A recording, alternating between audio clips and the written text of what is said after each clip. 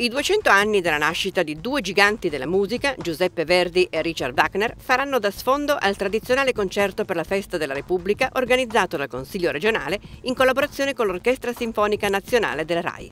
Appuntamento domenica 2 giugno alle ore 20.30 presso l'Auditorium RAI di Torino con un ricco programma di sala che vedrà tra gli altri brani tratti da Il Trovatore, Nabucco, L'Olandese Volante, sotto la guida del direttore Daniele Rustioni. L'ingresso è libero fino a esaurimento posti, previo ritiro dell'invito presso gli sportelli dell'auditorium.